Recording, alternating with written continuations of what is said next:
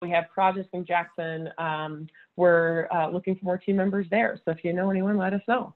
Uh, but we've been excited to work in these free markets. And what we find is that they have a lot in common. Um, they draw a particular, you know, sort of person. There's a reason why, you know, everybody loves this place. And I think for us, we think about, you know, um, what can we do to participate in perpetuating what's really great about the Rocky Mountain West and how can our practice support those kinds of choices. Um, we're all here for similar reasons in a lot of ways, um, diverse reasons, but, you know, when we're building, are we loving this place to death and are the buildings part of the problem? So, you know, Jackson itself, Wilson, where this project is that we want to share with you, is a really unique place. Um, not only is the, you know, the, the cost of development there really high comparative to the rest of the, you know, surrounding, um, they've got all these forces that are driving on that. It's not just tourism and the national park system.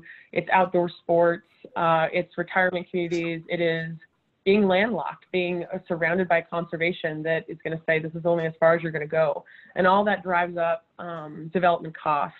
And so what you end up with is, you know, uh, projects that are uh, oftentimes uh, really, you know, have a higher end luxury scale, which is, you know, really great and fun, but also, you know, made us question, okay, if we had the ability to approach this market, what do we know about design that would help us make the best building we can if the resources were there? Um, and so we built upon projects that we have already done. And this this project here is one in Bozeman. It's our uh, second passive house, first one in Bozeman, and it's a very you know um, practical design, but one where we were able to really test these five principles of passive house. And for those of you that might be new to passive house systems, we've talked about it more in depth, I think, in previous webinars. So I'm not going to spend a lot of time on it. But these five items here are um, really the, the main points of it, where we pay attention to solar orientation. We work through all of our assemblies, the floors, the, the floors, the walls, the roof, to gain the thermal mass and the insulation value that we need. Uh, we install high performance windows. Um, in climate zone six and seven, where we are, there is a small part of the market that actually has a certified window through the House Institute. Uh, so we're really hoping to expand the market for um, manufacturers that we can source for those products. Uh, we work hard on airtight enclosure, and then uh, we balance the ventilation with heat recovery. And so you're getting constant fresh air, you're getting maximum thermal comfort. And then we, in design, we have early design tools. This bottom right image here is an output of that project. And it helped us figure out, okay, where do we need to be to hit Pass-Off certification? And this being our first certified project in Bozeman, really hard to get that um, actual, you know, specific heat demand, that red area you see down there, to at that threshold that we could. Um, and we've learned some things since then that give us a little bit more comfort about being a bit beyond that threshold. But that's basically the target and what the model helps us find. It might be a little hard to see, but the column on the left represents the losses that are modeled, and the column on the right that's like the blue or the red, yellow, and uh, pink is the, the gains from glazing, mechanical systems, things like that. Yeah. Yeah, I, th I think that's something that people often don't understand. Like our typical code buildings are built to really leak and uh, allow the building to ventilate naturally, right? This is how, this is always how log cabins worked. Um, and you could, you know, have the you know, particulates inside a wood cabin that would be normal there. And it, it was fine. It actually didn't create that much of a problem. But here we have a super airtight enclosure. So that means we're able to harvest the heat from our cooktop and our bodies and our lighting system and not only just the windows and the sun. So there is passive solar gain, but there's a lot of gains that are basically, uh, you know, unidentified assets within your home that those passive houses designed to give you the benefit of. And then, you know, in general, our in within our organization, we are very aware of um, emissions for our, our projects, and we're trying to get better at this. So we're not representing that we're experts on this right now. We're representing that we're trying really hard to have actual data to look at our projects and make better choices. And when we work in a place like this particular lot, we know that the standards must be high. And with an awareness, this is from Architecture 2030. If you're in the architectural practice, you've probably seen it, um, where we know that you know building materials make up a gigantic portion of carbon offsets that occur um, in our atmosphere. And that is something that we actually have direct impact on. Uh, we can help to make help all of our projects make choices where we can reduce carbon footprint. So back around to this place where we're going to design. Uh, we have a really special site in Wilson, Wyoming. Um, we have really nice direct views of the Teton Range. We are somewhat adjacent to a body of water.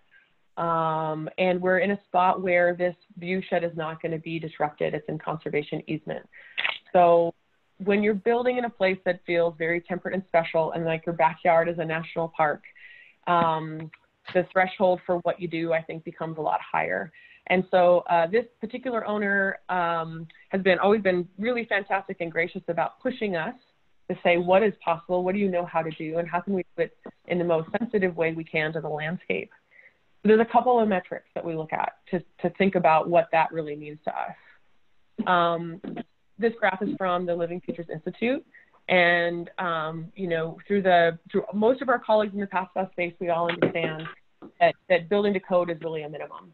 Um, and that we know much better ways to build for quality, durability, longevity, resiliency, um, and ultimately cost savings. And so uh, clearly living building challenge is a high, high goal to meet. And it is especially full living building challenge is especially high to meet in a place where water freezes. And so we're hoping to be part of more of those projects in the future, but we realize that there's a combination um, that we could use the, a passive house certified design, and that that basically fits into their energy petal of living building uh, institute living building challenge. And so we're hoping that we can meet not only um, a low carbon building with the Living Futures Institute, but also the low energy building with the Passive House Institute. But uh, we realized uh, pretty quickly, but also along the way, continually, uh, that we've signed up for a really, really challenging um, goal here. And it not only means that the goals are challenging for all these different reasons, but it means that this project, uh, not only through um, through design with our consultant team and conversations with our client, but even in discussions with you know contractors, our resulting contractors, and the town and county of Teton, um, County, that everybody needed to be educated on exactly how to do this and how it could be done. Um, it hasn't been done before in this time zone. So we're dealing with everything from our typical freeze and thaw cycles in Montana to heavy seismic loads. Um, the joke in place and that the views are always to the north. We, uh, the program this building was to provide for sort of shop and garage and storage um, for the owner, um, and then a thousand square foot accessory residential unit. And so that's the maximum that can be built in Teton County. And that's important because in passive house design, the air volume that you is, is a critical part of the calculus to get to the delivery that, that um, works best. So the smaller the building, it's actually much more challenging to reach that threshold. Um, and this is why passive house ends up being great for family and, and larger scale buildings, but that's a different presentation. Um, and then on top of it, we've got south space. That means got, we have to have leaky overhead doors. We've got, you know, important things to think about for air quality. If you're, if you're um, running an engine at all, right? Like that really has to be seriously considered for passive. Um, and then across the board, with our systems, we've had um, a role to play as educators for our workforce, for the inspectors, for all the stakeholders that are going to help us keep the project real. So along the way, you know, there's certain things that we've had to remind ourselves all along the way. And uh, it was helpful to think about it this way and have a sense of humor about it. But we do have to be ready to educate. Um, we do have to embrace tape insulation expensive windows. This is about the materials and the methods. Um, we shall not thermal bridge, right? We shall not create a situation where something continuously going from the inside of the thermal envelope to the outside of the thermal envelope, introducing condensation, potential mold, and uh, deleterious uh, air quality. Um, we shall optimize the orientation of the sun. We got to embrace spreadsheet data and excessive documentation. We have to be ready to capture documentation after the project is complete. Will be our baby for a while. Um, and everybody, thou shalt not sell engineers. Nobody likes that. You shall the contractor's name in vain. We have to have a fantastic relationship with our contractors. There's just too much to share and too much we have to decide on together for us to um, not be on the same team. And so this is where authentic collaboration for Pass Plus projects really comes in. Uh, we have to communicate clearly to all the trades and we have to listen to our clients and their needs and understanding of what we're doing um, and not just payday. If I could just jump in real quick and ask that anybody is not muted themselves, will you please do so? I'm getting some background noise and I can't find out where it's coming from. Thanks. All right. Um, so the next, we really started to sit down to arrange what are the products that we want to use, what are the systems we want to use. They're going to get us to this goal of low carbon. Um, we know certain things about different materials, and clearly uh, we know which materials we're going to choose that are going to help us get toward that goal. Um, generally, as a company, we've tried to eliminate or just mitigate any use of blue board or spray foam in our projects. And I think that's, you know, maybe controversial with some. Um, for us, it's the right choice. And and sometimes, you know, there are situations, especially in renovation, when it seems like spray foam is the answer. But um, when we think about the long-term health of our inhabitants and the great, you know, products that we can use as an as an alternative that don't break the budget, we just feel like it's a better option. So this graph, uh, hoping to spend, you know, a little bit of time on, or at least at least have it up long enough that you guys can read it. Um, when we get into life cycle analysis, which is how we understand the carbon footprint of our project, uh, we, everybody's got to understand that um, our information is just based on the data, data that we source and how we put it together. So we've got a couple of tools that will help us tabulate different assemblies. And so what you're looking at here is at the very top, a pretty typical two by six stud wall. These are all basic wall assemblies um, with uh, closed cell spray foam. And its uh, carbon footprint for that particular unit of wall assembly. And then comparing to insulated concrete forms, um, which is ends up being the, the highest level there. Uh, next, uh, down the line was a 12 inch SIP with EPS on the outside. And this is what we did for our first house in Bozeman. It was a lower footprint option, but it was the option also that uh, the client could afford and that fit the budget and made the project a reality. So with that particular project, we wanted to go with more natural options for insulation, but went with the SIPs for kind of a, a myriad of reasons. Um, and we can talk about that maybe at another call. But uh, I think we found some other solutions that came out of that. So then um, looking at everything that goes down the list from there, from a cross-laminated timber structural wall panel with wood fiberboard uh, down to, you know, two by stud framing with cellulose insulation, uh, or if we went all the way into straw bale, we really like trying to use, really like using projects such that we can use um, a wood framed wall with a straw bale infill or um, two by stud framing with hempcrete, a mixture of hemp and lime and then even straw panels. We're very excited about the potential of prefabricating um, straw back into conventional construction. We've got friends in the call that are working on it, and we think it's a really exciting future for um, bringing straw back into conventional construction and doing it in a way that um, takes away some of the concerns that, that people might have about straw. But really, it is the most carbon neutral, the most sustainable, the most available resource we have out there for building. And um, there's some great, great uh, futures in that. For this particular project, this is where we started to land on a cross-laminated timber structure with wood fiberboard um, insulation on the outside. And um, CLT is not super common yet in Montana, Idaho, or Wyoming. Uh, it's definitely gaining steam um, on the West Coast, the East Coast, in urban centers. We have a, a CLT plant up in Columbia Falls, Montana. It's named SmartLam.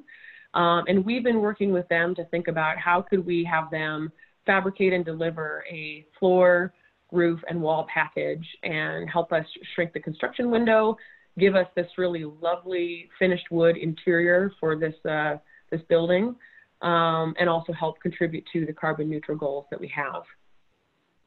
there, and just for your reference, there are a few different kinds of what we're talking about here when we talk about CLT. Um, when CLT is compared to uh, other systems that you make very large buildings with, when you compare it to steel and concrete, it is um, absolutely a more sustainable option. And uh, it is great uh, in, a, in a fire, it's great in an earthquake. Um, it is pretty rigid and stiff, but uh, I've been really excited to hear about different entities that have been exploring it, including the military. Um, and from what I've read, they've been really trying hard to burn it down and blow it up, and w- without success. So um, if you get into any kind of mass timber education, somebody will usually ask about, you know, what do we know about mass timber buildings that have burned down? And the answer is kind of a shrug because it's a pretty new system and we haven't had one burned down yet. So they tend to char and then those sections can be replaced. But we have parallel strand lumber came around first. And then there was uh, not used that much, but there is nail laminated timber. Glue laminated timber is, is very common in the building industry. And then we got into cross laminated timber where we get a full structural panel. And you know the the site life cycle for this is um, one that can be repeated. I think for for us as kind of looking in a hawkish way at these systems, um, given that it is very a, a heavy burden on the wood products industry, that once the building ends the end of its you know useful life, I think it comes into question what happens to that building. If the building is is actually uh, deconstructed and repurposed, that's great.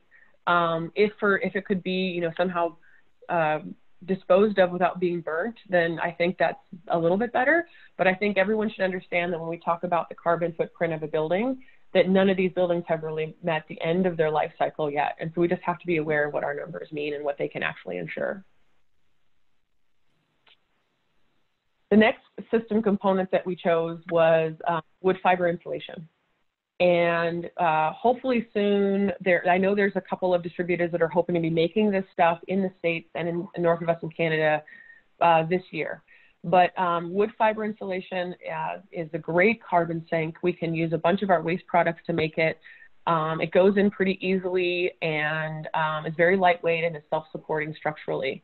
So we're able to uh, um, lay it up with very few fasteners, which realize a metal fastener from outside to inside through 12 inches of insulation can really be a thermal bridge. So we even had to model what type of uh, impact do our fasteners have if we need them all over the wall assembly. Um, we waterproof it, then we have um, our structure for our rain screen siding, and then we can put siding out on the side of those furring strips. And if we have time for it, we'll go through um, a little bit of the wall detail if people are actually interested. But the wood fiber insulation is one that we've used now on a couple of renovations in Bozeman. Um, you can source it locally. It's not that hard to find. Uh, it doesn't make your fingers itch. Uh, our guys seem to really like looking or like working with it, and it cuts easily. So it's a product that I hope we see more typically um, in the Mountain West for sure. You get about, I think it was like 3.7 R per inch um, for the different kinds of wood fiber insulation, of which Gutex is one of the brand names. Uh, okay, so then the other kind of huge factor for Passive House certification is the quality of the window. Um, our windows for this project are from Intersign. Um, I should have gotten their logo on this sheet, but um, these are Intersign window sections, and it's a fully broken window thermally, and it's triple pane.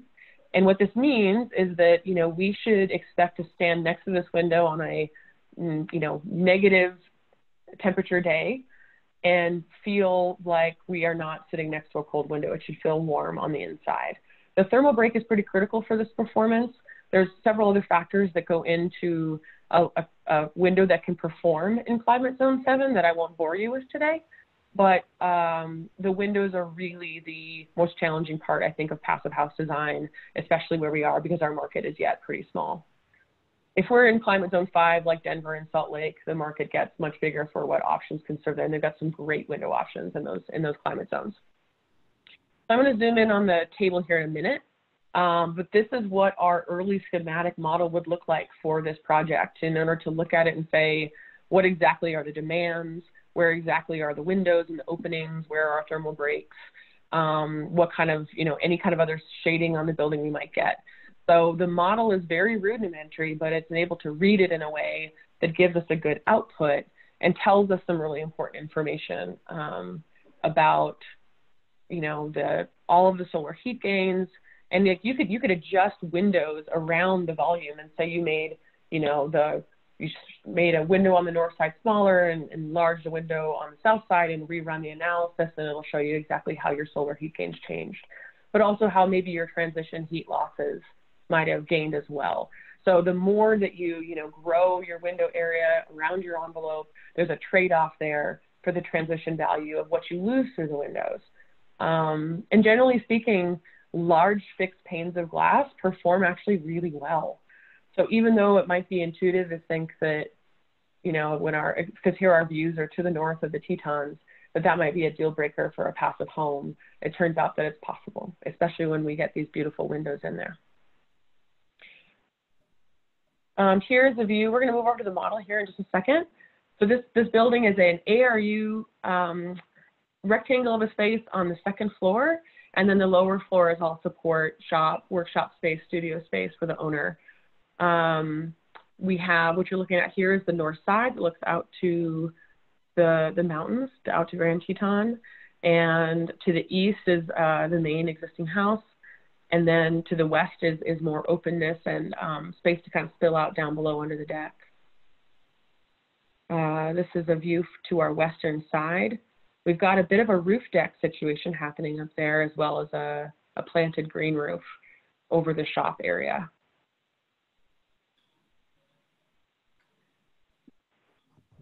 This section is kind of expressing how the space wants to be used. Um, the the owner has you know lots of uh, activities and there's recreational equipment and space to you know gather with their friends and work on bikes, store kayaks, backpacking gear, skis, campers, that kind of thing. Are um, we're planning for uh, Tesla solar batteries on the wall for storage from the solar array as well as um, for future cars. And the space in between these two, uh, we've been calling it the canyon, gets us our entry into the ARU space, which is a, a one private bedroom and bath, one bunk room, and a shared bath, and then a gathering space in the center that leads out to the deck. When you get inside, we have these big lift and slide 8 by 10 doors, a big corner window that was a, you know, an engineering challenge, but was really fun to figure out. Um, and the whole idea that this building would kind of raise you up into the trees and feel more like a tree house and taking the advantage of the views that are pretty spectacular there um, and just kind of allow you to recede into that interior and let your focus be outside. So um, we put this slide in mostly to remind ourselves that now we should probably go over to the other model because I don't think anyone actually really wants to go through this detail. Maybe you guys do. We'd be happy to share um, sort of what system works further with anyone who wants to go into that level of detail. Uh, but we wanted to keep the presentation more general and thought maybe now we could um, maybe fly around our computer model a little bit to get um, more of a feeling for the, the look of the exterior of the building too. So I'm going to stop sharing. And Lindsay Love is going to um, take over. I forgot about this. Oops.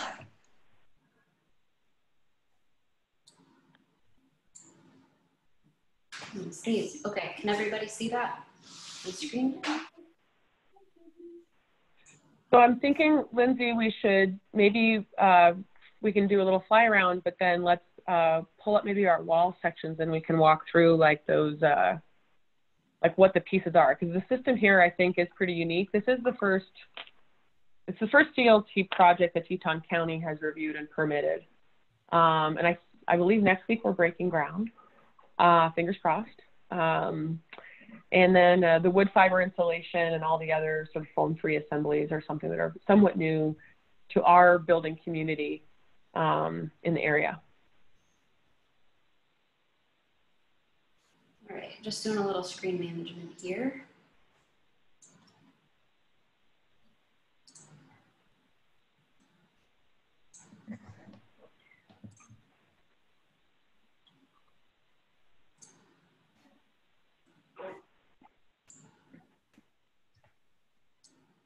This white building is an existing building on the site. Um, and I can turn the trees off so they're a little less distracting. That's fine. All right. I do a quick zoom around and then I can do a quick walkthrough. We, um, we have been uh, calibrating the amount of solar panels that would be needed for a net zero project. And so that's what you can see up here.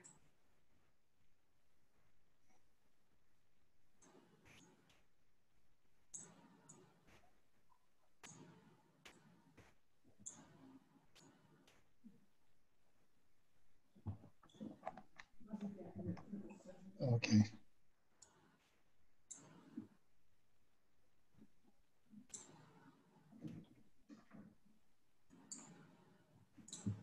Walk through.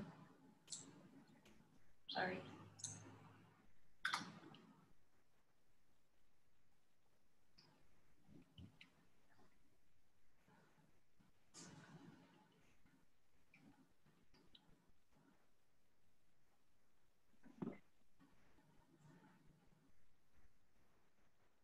We don't have the Tetons in the model, but it's pretty epic.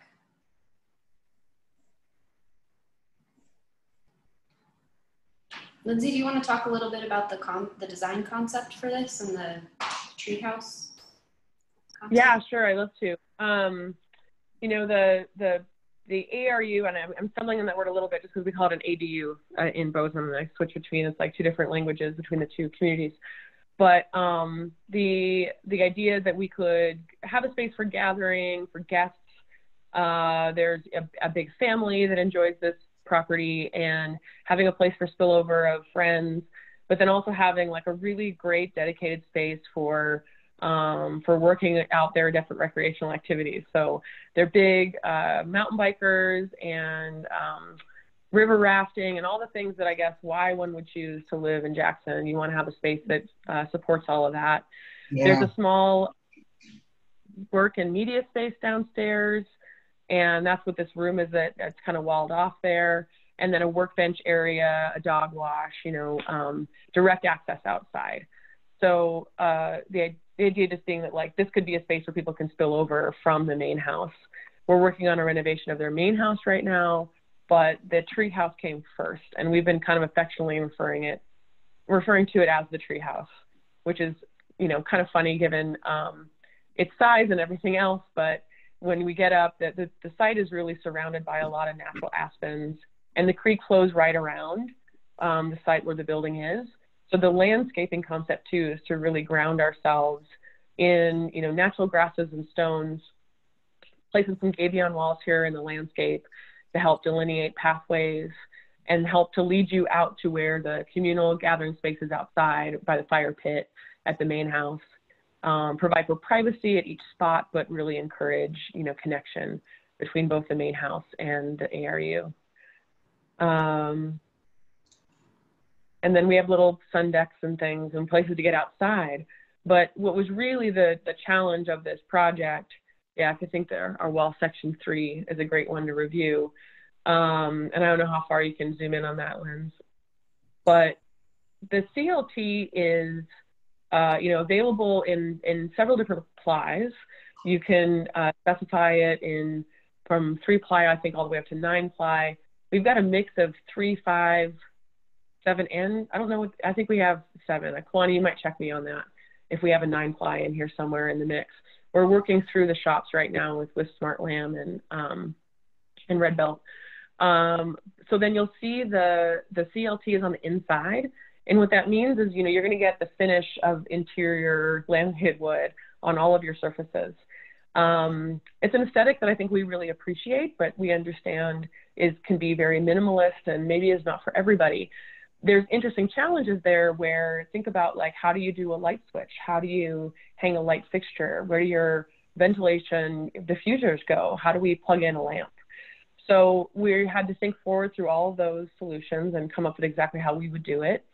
And then the nice thing too about the CLT is that there is a certain air tightness to it in its perpendicular direction.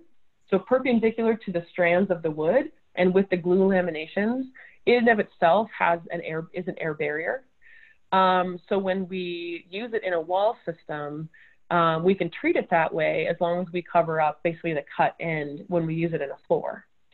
Uh, but it means the entire structure then needs to get wrapped continuously with insulation, which gets you know challenging and fussy when we get to be uh, around large lift and slide doors and really large window frames.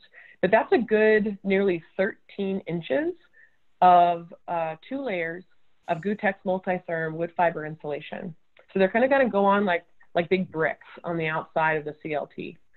And then you have to waterproof and air barrier, vapor barrier over the outside of that. And then you can put down furring strips and a siding material so that you've got good drainage and airflow to the outside of your envelope. But all of this is gained at creating um, a structure that can be exposed to the inside, uh, and then we can keep it airtight and waterproof and very resilient, um, even though we've got really large openings and panes of glass everywhere. Yeah, so there's some really particular fussiness you can imagine with like what's supporting that insulation once you hit, you know, the top of your CLT connection. And we've needed to work through that with our engineers, and they, they worked really closely with us to think through you know, all the different options of how we support these products. And that kind of relates back to what we talked about, what I talked about earlier, related to communication, um, being willing to, to educate our team, educate each other, maybe not take the first answer that we get and push it a little farther and say, are you sure? What else are others doing around, you know, the country or what are, how are others solving these, these problems? Could we consider that here? And, you know, applying a bit of pressure can help us say, well, actually, yeah, we could do that. We could make it work in this way. And along the entire um, process, also uh, working with our contractor to make sure that he's on board. So our contractor this has been amazing. And, you know, we've had many multi-hour meetings where we've just sat down and talked through the sequence, all these things. Um, and that I think is a requirement for any passive project. You have to be ready to sit down and talk through that and take feedback, and changes, or or educate and sort of confirm that you know the outcome can be met. Um, and I guess the last thing I would mention as we talk through some of these constructability things, and I think we should move to questions, is that the, one of the reasons why we're involved in that builder training and why we've been a part of this webinar uh, is because we realized about three years ago that we really needed to educate our own workforce if we wanted to get passive projects built in Montana, Idaho, and Wyoming. Um, we have really, really great contractors um, in our building culture here. Very smart people, and you know, just like I was an architect who thought I was doing sustainable design until I found Passive House.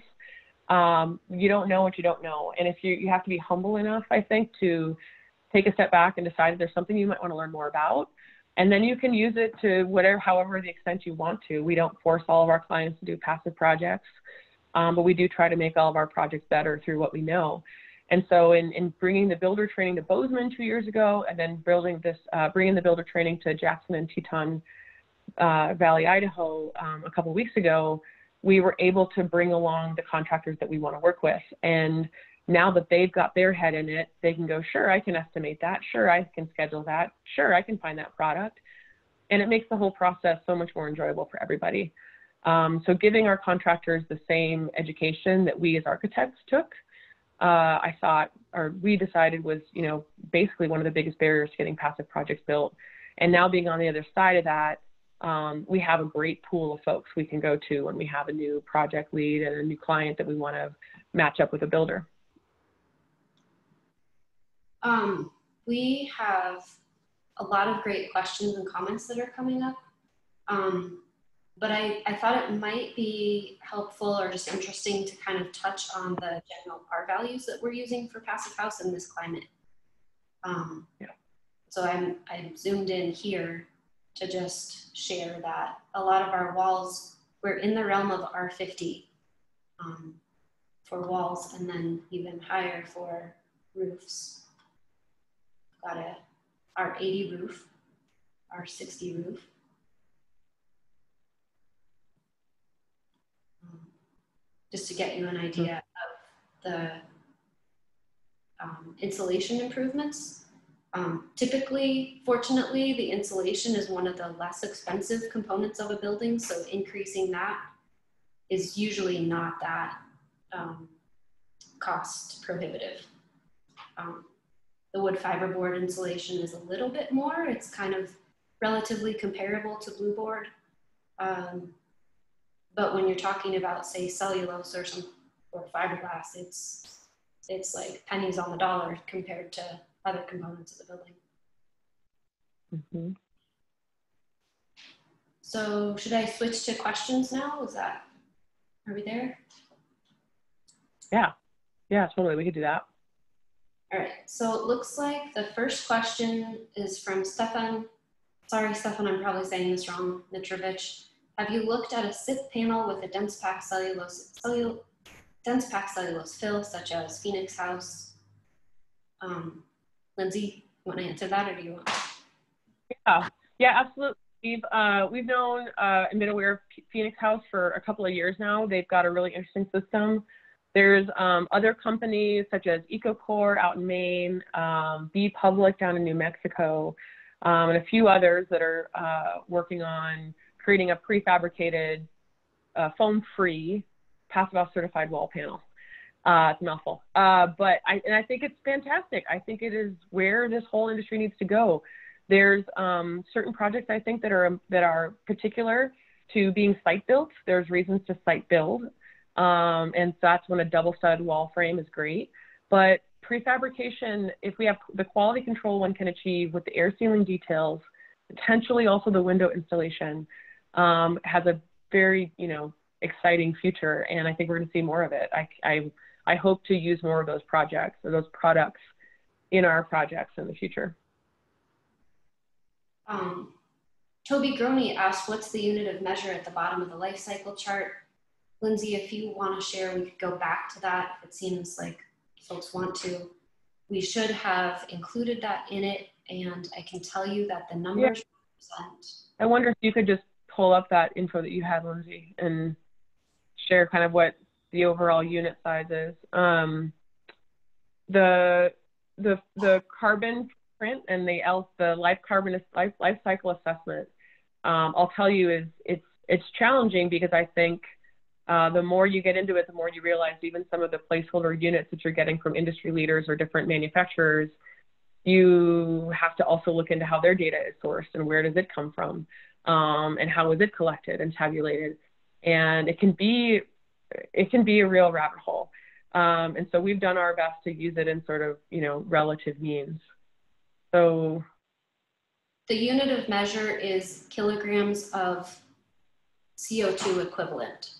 So um, it's basically kilograms of carbon dioxide that are emitted over the life cycle of a product. So we can go into that in more depth if people want to.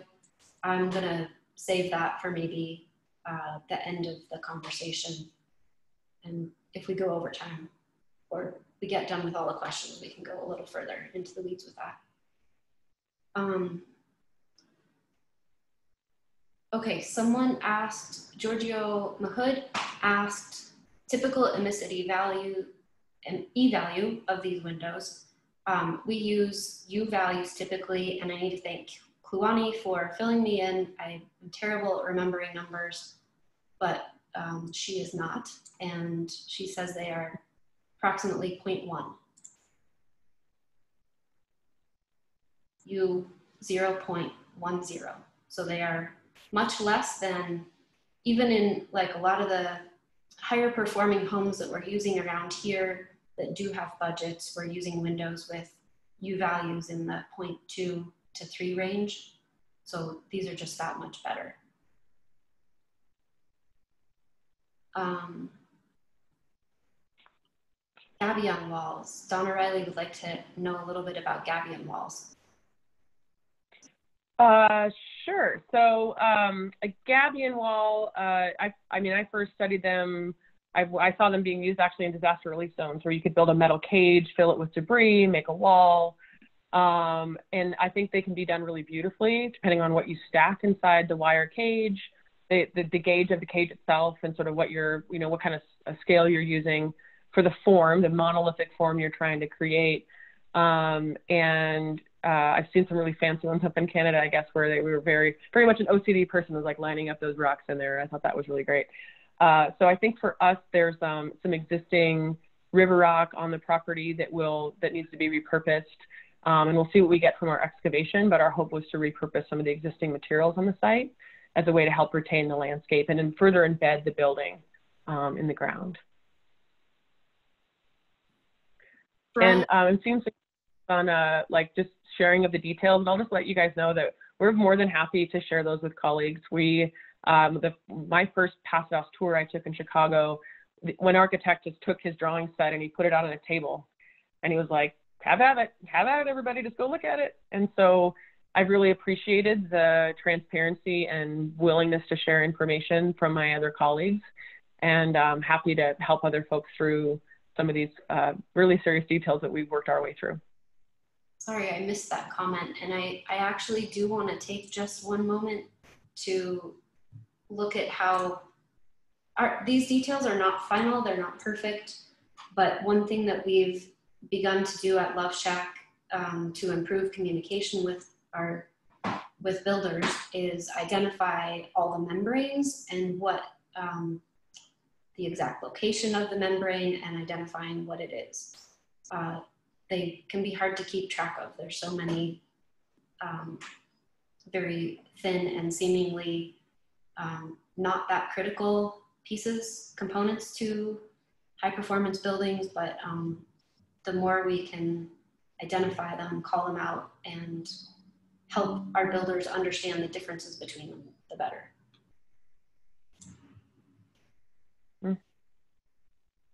Um, Brian Top asks, is expansion and contraction an issue with the CLTs? Do we have enough build buildings to confirm this is not an issue? That's a, that's a great question because I don't think we have enough buildings done for that whole question to be answered. Um, I think that it really comes down to moisture and water management. And if you have, uh, you know, not only the, the quality of the CLT that you source from the beginning and the low moisture content that it needs. I know that they sent me um, some samples, and that was one of the first thing I noticed. I was like, okay, so you send an architect a sample, and there's expansion in the sample. How am I supposed to feel about that? Um, but I think more that was about that particular small block not having, you know, the rest of the integrity of the diaphragm that it would have. So I think that once you properly, like, can you close it inside your thermal envelope, you're also regulating the temperature that that panel is going to exist at. So I think in passive house applications, we're in a much better position for that to not be so much of an issue. If we were in a non-passive house, non-thermally broken situation where maybe there was questionable water management, I think that that absolutely could be something that could be uh, discovered later on. Enrico, Enrico, I don't know how to say your last name, Malari, says, I think you have more trained PH builders per capita than anywhere else in the US. Enrico was one of the pre presenters on our webinar series, and he was the trainer at the um, training that we hosted recently. So that's exciting, and I think speaks to the comment that I remember Katie Holbacher making in her original presentation about how our carbon emissions are much higher than anywhere else in the US per capita hopefully we're, we're moving the needle a little bit. Mm-hmm. Um, Caroline Groff asks, any recommended contractors building passive houses in Bozeman? I think maybe best to follow that up via email. Yeah, absolutely. We've got um, some great contractors in Bozeman. Uh, we had a few people come up from out of state for our Bozeman training two years ago. Um, a good turnout at our uh, Jackson training. Um, and if you want to send us an email, we'll provide you with a list of those folks. But Jacob, hi Jacob. Um, where is the CLT being sourced from? Lindsay, you want to talk? You know that. Yeah. Okay. The plant is in. Oh, I'm forgetting the town. It's just in Montana. Though. Columbia. Columbia Falls. Right. The name is SmartLam, and their distributor is RedBuilt. And um, that transaction, I think that just occurred, but I think you can still find them under Smart SmartLam North America. Yes. Thanks, Kulani. You answered that too. Um, all right. Rain Wardwell, I'm not sure how to answer that question, but he says collective. well, one of my favorite channelized uh, fabricators, really cool dudes up in British Columbia. Uh, they are a collective and um, they've been working with B.Public, the company that I mentioned doing prefabricated work in New Mexico. And we sure hope to team up on a project in Montana real soon. Um, there's some advantages to working with folks up in Canada, not not necessarily just that it's really fun to visit Canada, um, and they're really polite, nice people, but that um, there's a advantageous exchange rate for some of the materials and services. Um, and you know, Canada has been, I guess, I would say, progressing faster than the U.S. when it comes to passive house awareness and contractors and projects, and it's especially you know doing this in cold climates. These guys know how to do it. Ray, and if there's something in addition that you want to ask out loud about that question, feel free to.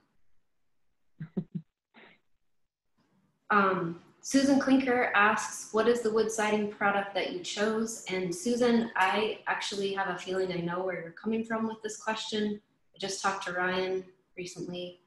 Um, Susan is a client of ours and she is developing a wood, sorry, a straw panel product um, and sort of prototype in Salt Lake City. We used Gutex on this project. Um, I know I've got a sample of sauna Climate here in my office, and they're, they're slightly different. I know Gutex does have a product that can be used to directly plaster onto, but it's only for interiors. Um, but let me know if you want more information about that. Happy to talk more. Um, Brian Rosenberger asks, to what extent are these goals achievable when there are real budget constraints i.e. more constraints than you'd be dealing with for clients in Jackson, Wilson, and Bozeman? Well, I mean, I think one of the most common questions we answer is, well, how much extra to make it passive house? Um, and I guess, you know, the that's always a challenging question to answer because once we're answering it in that way, we're not thinking about it in the way that it best serves us. And so that's where we come to it's not appropriate for every project. Um, it can be done uh, for a typical market rate housing build cost. It just means that there has to be some priorities made in the design to, to make sure that you hit that goal. So for example, our Bozeman Passive House is a very simple compact volume. It's basically a two-story rectangle with a gable roof, a couple of negative spaces hogged out, some big windows. But the volume itself is quite simple, and that was supposed that was in the idea of minimizing our thermal bridges, minimizing our corners, minimizing our junctions that we would have to detail and have special attention paid toward. Um, and that project uh, was built for, if you include the garage, which actually, no, I'll take the garage out. If you don't include the garage, and the garage is quite large, um, and it was not built to passive house envelope standards, it's just typical construction. The house itself came in at about 260 per square foot.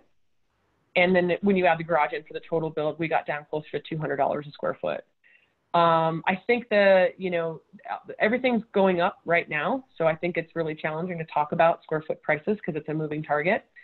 But I would challenge almost any custom home builder in the area to build um, a new home in that price point, um, unless really what we're after is, you know, um, the most the most affordable build that can be built is likely not a passive house. And I think when we get into that conversation, we always like to remind people to put a value on things that are perhaps more intangible during the building process. So, you know, we don't necessarily calculate for indoor air quality, for thermal comfort, for when your boiler and furnace breaks down and you got to replace it in the middle of a winter storm, for dealing with, you know, waterproofing issues and repair of systems and finishes after five or 10 years. And when we really start to, you know, capitalize on all the assets that we actually have, and we think about the cost to live in a building, then you know, passive house can make the argument, oh, it is the cheapest way to build. So there's some funny arguments that go on around cost and passive house, but um, if it really depends on what type of building you want to do, and the challenge right now is every type of building in the West is expensive.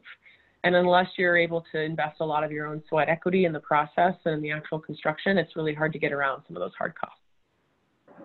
Yeah, Lindsay, do you have anything to add to that? Um, no, that was very well said. I think it's a very hard conversation. Um, I, I would just add that our financing structure in this country is set up to very much constrain the conversation around building to cost per square foot. And and we don't think about resale value and how the value down the road pays itself back or um, energy savings. And we're starting to see that that change. Um, but i think until the actual structure of the financing system changes and bankers actually are able to see the value i don't think we're going to um, see the the costs be like completely equal. Um, Susan, great question. How do you calculate the CO2 related to transport of Gutex products coming from Germany? What I have heard is that shipping from Europe, as long as you are going to a coast, it's very, very minimal. Um, boats and trains are extremely efficient in their use of emission, in their use of fossil fuels. And so once you're coming into the middle of the country, that's where the emissions increase. And so it kind of sucks. We're stuck in the Rocky Mountains. So there's some carbon in that. But what I've seen and what I've heard from manufacturers who are doing the LCA studies on their own products is that there's some emissions there, but it isn't it's minuscule compared to what the product stores. So it's it's not a reason not to use it. Um, Toby asks, have you been able to develop cost comparisons between SIPs versus CLT? We have not yet. But we, we do know that the, the CLT is, is more expensive. And then I think once you get into, it depends on um, the value of CLT, I think is when we get into volume. So if we have a large scale project, um, a multifamily building, a hotel or a dorm, that's when CLT starts to become cost competitive. Uh, but because it does, it does go up very fast. But right now, I think it's very clear that on a smaller project like this, CLT is not um, going to be less expensive than SIPs. Uh, Bonnie asks, hi Bonnie, um, have you heard how well these panels age? Can they delaminate or discolor? So I think again, it comes down to the, the climate they're being installed in, how they're being installed. Most CLT projects are not passive house projects. So we've got an extra basically winter coat around the, the CLT structure for the for its whole lifespan. Um, when, so when it comes to like the interior wear and tear, you know, I, I think we're definitely looking out to how we're going to finish the floor because we're we are going to leave it alone. We're not going to top it with everything. In the bathrooms, we'll lay tile, but in the common spaces, you'll have that wood floor with, I'm sure, some soft goods. But um, so far, uh, you know, since the product's only been around for about 20 years, it's shown it's, it's aged very well. Um, but I, you realize that if it starts to, you know, in any way delaminate or fade, you could actually, like the delaminations are thick enough, you could go in and refinish it. Because I think that would be an interesting thing for people to do, but we of course haven't seen it yet. Um, Rain Wardwell, you must be with Collective Carpentry, so. Collective. He is just playing with you. um, Paul Cote, I hope I'm saying that wrong. Hi, Paul. Are there no limits to R values? When is enough enough? Um, there is, I think there is certainly on every project, it changes, but there, there could be a limit to how much insulation pays itself back over time. And I think that's a conversation that EMU at uh, past at um, sorry Enrico at EMU would answer very well.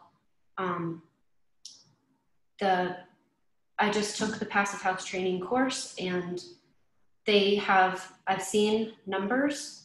It's very clear that building this way pays itself off in a very reasonable amount of time. It there's a little added cost up front, but um, this it works out economically in an owner's benefit. Um, the other component to that is the carbon, embodied carbon of insulation. And I would just add that because we are building these buildings that are so high performing, so insulative, the embodied carbon of the insulation is extra critical.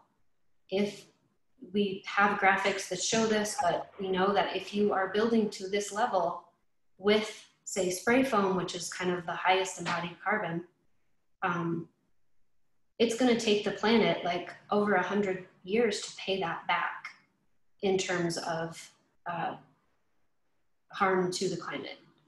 So um, we just really try to limit the, if we're using this much insulation, it's got to be plant-based and it's got to be low carbon or carbon storing. Uh, can I make a comment there? Sure. You know, in, in my experience as a builder, I've, I've more or less found that once if you can get into the mid 30s without any thermal bridging, that you have, for most practical reasons, stopped heat loss. And I've never seen any data to back that up or defy that. But when I see you getting R values in the 50s and 60s, I start to wonder are we using our resources widely or just going a bit overboard? And I'd be interested if there's any sort of research available or statistics that show us where where should we ideally be, be hitting? Yeah, I think I would be happy to follow that up with you in a email or in-person conversation. Um, again, I think it's different for every project and you know, maybe someday in our region, in our climate zone seven, there will be a standard that says, this is where you get the most bang for your buck. This is where you're not wasting resources. I think this is all new enough that we're, we just don't have that data fully yet.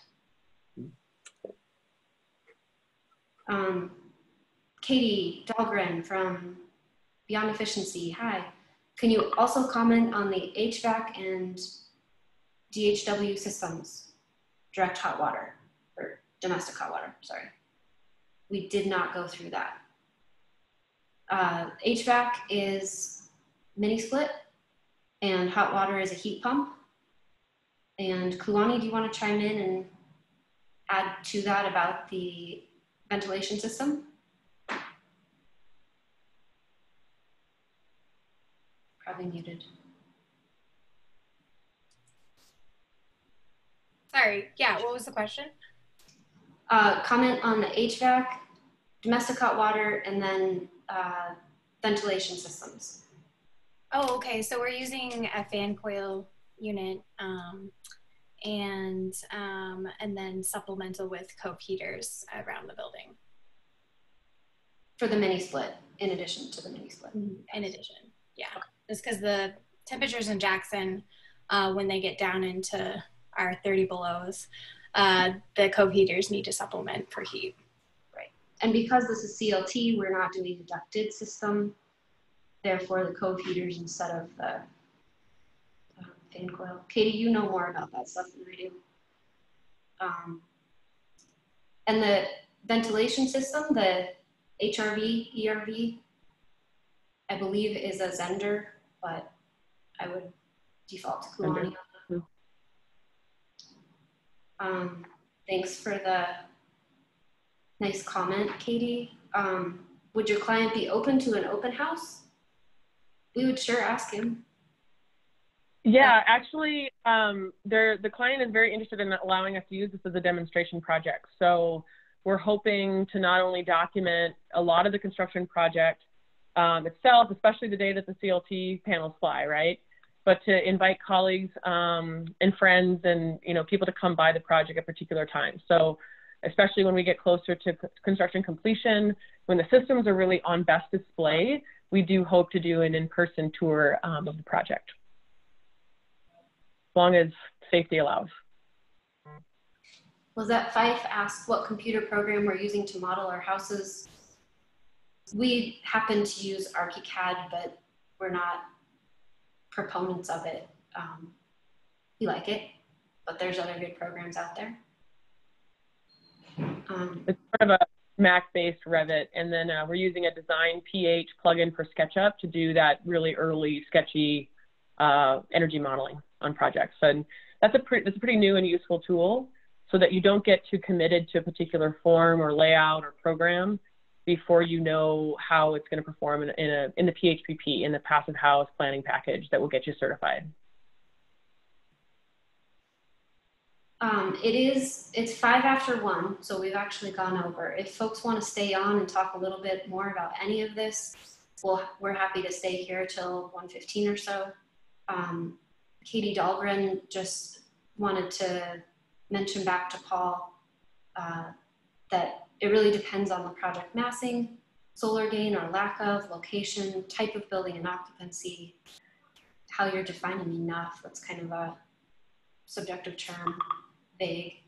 Um, and if you want to compare ROI to solar PV, payback over time, um, so many things, so many factors to consider. Okay, yeah, a lot of issues there. Um, yeah, a lot of issues there. Thank you. Well, thanks to everybody for joining us. If you need to sign off, um, please do. Leah, I see you have asked about um, CEUs and you should just contact Anna Foster at AIA Idaho. She is taking care of that for folks. Yeah, thanks everybody for joining us today. We'll um, be putting a recording of the webinar up on our YouTube channel so that you can look at it later if you want to or share it with a friend. Um, we hope to be doing more of these things through Passive Rocky Mountains and the North American Passive Network. They'll be doing a monthly or maybe even a bi-monthly webinar call where we'll just be sharing information. Uh, I think Passive Rocky Mountains is going to host the first one coming up in August. So um, if you uh, sign up for our newsletter, you should get information about that. Um, and more than anything, we just want to be connected with the rest of the folks that are curious about this, uh, curious about low carbon, high performance building where we are, um, so we can continue to connect us, uh, connect with our colleagues, um, contractors, clients, folks out there that are interested, and just prove that this is possible out there where we're all trying to build. Um, and we hope to be able to demonstrate that to all of you in person soon. Just to keep going with questions, um, Toby asked, do we think it's efficient to use carbon offsetting as a standalone guiding metric? If these hybrid structures utilize three or four times as much structural wood product is carbon offset analysis alone really sufficient to understand the ultimate demand of a building? Can you clarify, Toby, what you mean by the demand of a building?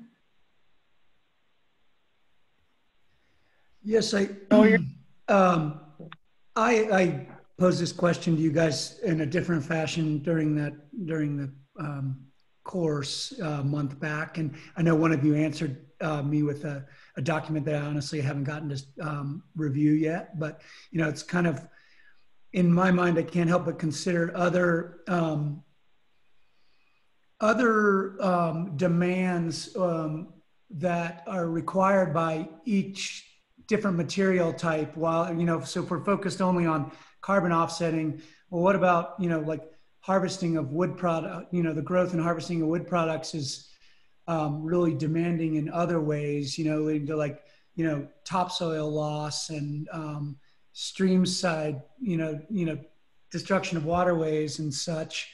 So if we're, are, I often find myself thinking, are we, are we substituting, are we trading evils kind of? Um, it's, it's hard to know how to measure that to enter in a, answer that in a quantitative way, I guess, but um, curious to talk to you guys more about um, what analysis you've seen and um, along those lines that are maybe a little bit harder to measure. Well, I, I think that graph that we shared earlier is, is sort of our best analysis of how they compare. And so we know that a site built wood framed, typically wood frame stud wall with cellulose insulation or wood fiber insulation has a lower carbon impact than a CLT structure. I think where the CLT really starts to prove itself is when you compare it to steel buildings and heavily used, you know, if we have a large amount of concrete in a building and the CLT could do the same job, that's where I think it's the it's a low carbon choice. So in our project, we chose the CLT for some other reasons, And then we just did the calculus to figure out exactly what, what is the cost of that choice and got to a point where we felt okay about it. Um, but again, like, I think it's a good um, reminder that these projects are, you know, they're high reaching goals, but I think reading, they're never going to be an ideal or a perfect, depending upon what's the, what's the standard that we're applying it to, right? So, and when it comes to CLT, I think, I think that we're still learning whether or not it's a totally sustainable enterprise. Um, I think what is easy for the wood products industry to really be cheerleading about is that it can replace a lot of our steel and concrete and our oil or our ground extracting construction processes. Mm-hmm. I really do think it's it's beneficial there. But if you're comparing it to like, you know, I don't think we're going to see single family homes built out of CLT uh, anytime soon necessarily. I would just add to that um, that the the numbers that we have are only as good as the data that's published, and um, that is improving. There's a lot of pressure within the industry to improve those things right now. There's organizations who are really raising awareness around it, like the Carbon Leadership Forum, and Passive House as well is starting to um, sort of require industries to be transparent about their embodied carbon impacts. And the more that we ask and inquire for that data to be shared, the faster it will be shared and the faster we can do our job better. Mm -hmm. Yep. Great. Um, one last little bit of information. We're work in our Wilson project that we've shared with you guys. We're working with Steve Landis of Select Builders.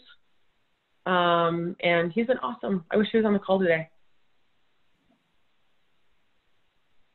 Andrew Mitchell yeah.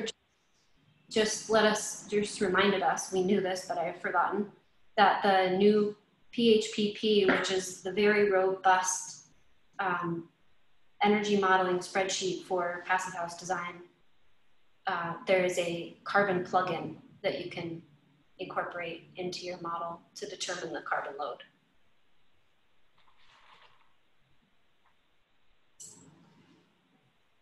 All right.